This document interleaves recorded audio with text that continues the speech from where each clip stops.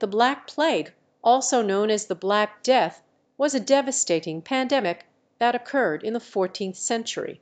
It caused millions of deaths across Europe, and had a significant impact on society and the economy.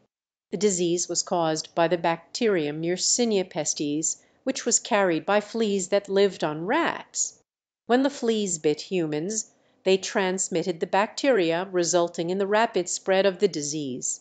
Symptoms of the Black Plague included fever, chills, swollen lymph nodes, and the appearance of black patches on the skin.